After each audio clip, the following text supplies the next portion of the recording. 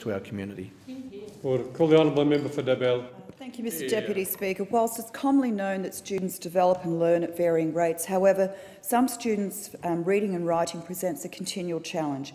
These are the students who struggle daily with the condition dyslexia. And it's important that we acknowledge and support these students and, for that matter, adults with this condition. Dyslexia is better understood as a persistent difficulty with reading and spelling. It's a language-based learning condition affecting up to 16% of Australians, impacting on the skills involved in accurate and fluent word reading and spelling. Dyslexia does not affect general intelligence, yet it's a lifelong condition which can severely impact an individual's ability to complete mainstream education and training.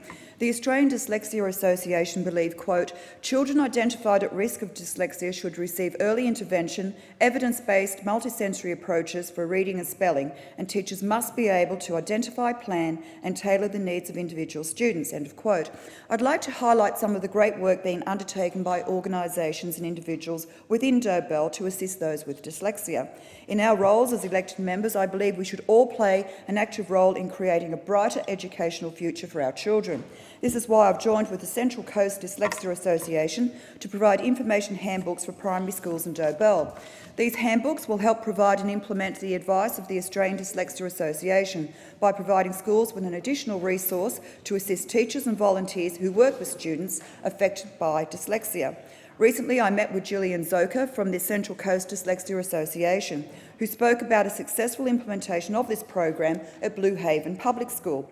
The Central Coast Dyslexia Association also holds workshops and information evenings in Dobell for parents, teachers and professionals, providing strategies and tools for helping children with dyslexia. And I also look forward to working with Gillian to raise awareness of the need for volunteers, including retired teachers, to help implement dyslexia programs within schools on the Central Coast.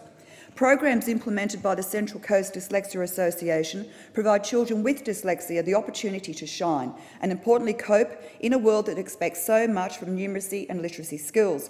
I also acknowledge the outstanding work of Mr Jim Bond, a resident um, of Dobell, who for over 25 years has been a tireless advocate for people with dyslexia and was instrumental in securing technology to address dyslexia in our schools. Jim, who himself is affected by dyslexia, has championed the introduction of text-to-speech computer software in primary and secondary schools. Jim has also shaped and influenced changes to legislation, including the recognition of dyslexia as a disability in various jurisdiction legislation. Technological advancements to assist people with dyslexia now means that a quality education for people with dyslexia is possible, and I look forward to working further with schools in Dobell, the Central Coast Dyslexia Association and individuals such as Jim Bond to better support those with dyslexia within our community. Call the honourable member for Blair. Uh, thank you, Deputy Speaker. My electorate